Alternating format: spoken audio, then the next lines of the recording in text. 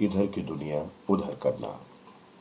पुराणों में वर्णित कथा के अनुसार शिव पार्वती के दो पुत्र थे। एक का नाम कार्तिकेय था तथा दूसरे का नाम गणेश।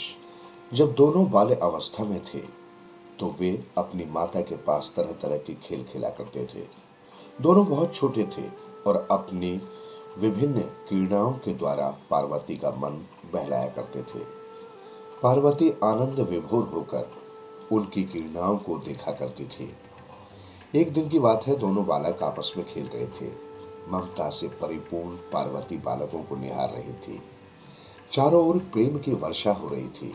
देवताओं ने जब ये दृश्य देखा तो वे भी आनंद विभोर हो, पुलकित हो उठे अत्यधिक प्रसन्न होकर उन्होंने पार्वती को एक लड्डू दिया।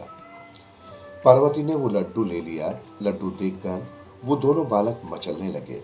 दोनों ही लड्डू को लेना चाहते थे। गणेश कहते, मैं लूँगा। कार्तिकेय कहते, मैं लूँगा।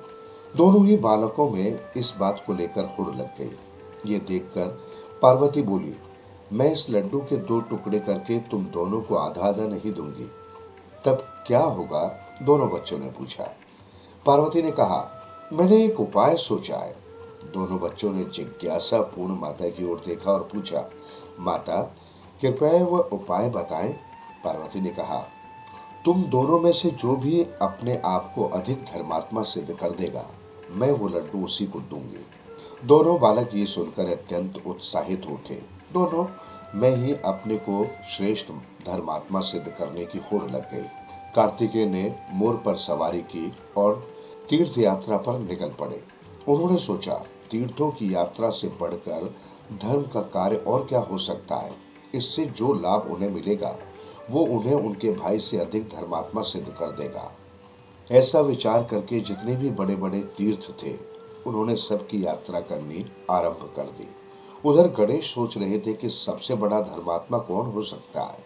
यकायक उन्हें विचार आया कि अपने माता पिता की सेवा करना ही सबसे बड़ा धर्म है। जो ऐसा करता है, उसे तीर्थ यात्रा से अधिक लाभ मिलता है। माता पिता की सेवा सभी तीर्थों से बढ़कर है।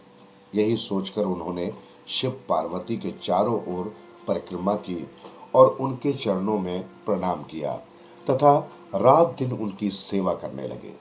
धीरे धीरे कई दिन गुजर गए। कार्तिकेय अभी भी तीर्थों के दर्शन कर रहे थे जबकि गणेश माता पिता की सेवा कर रहे थे।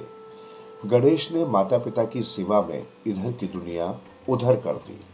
कुछ दिन बाद कार्तिकेय लौटे जब उन्हें पता चला कि गणेश कहीं भी नहीं गए तथा वहीं रहकर माता पिता की सेवा करते रहे तो कार्तिकेय मन ही मन बहुत प्रसन्न हुए। वे सोचने लगे, मैंने सभी तीर्थों के दर्शन कर लिए, मुझसे बड़ा धर्मात्मा भला कौन हो सकता है? जबकि गणेश यहीं रहे, उन्होंने तो कोई भी धार्मिक कार्य नहीं किया। ये सोचकर वो और अधिक प्रसन्न हो गए कि अब पूरा का पूरा लड्डू उनका होगा। उन्होंने पार्वती के पास पहुंचकर लड्डू मांगा। गणेश ने भी लड्डू की मांग की। तब दोनों बालकों को शिव पार्वती ने अपने पास बुलाया और प्रेम पूर्वक समझाया।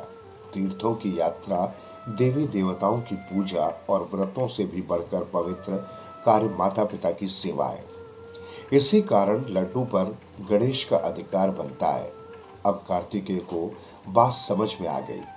उन्होंने माता पिता के उपदेश को सहर्ष स्वीकार कर लिया। वो प्रसन्नता पूर्वक दोबारा गणेश जी के साथ बाल क्रीड़ाओं में व्यस्त हो गए।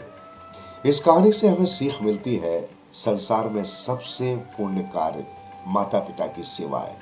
जिस प्रकार गणेश ने माता पिता की सेवा में दिन रात एक कर दिए और पुण्य फल प्राप्त किया, उसी प्रकार माता पिता की सेवा में सदैव तत्पर रहना चाहिए।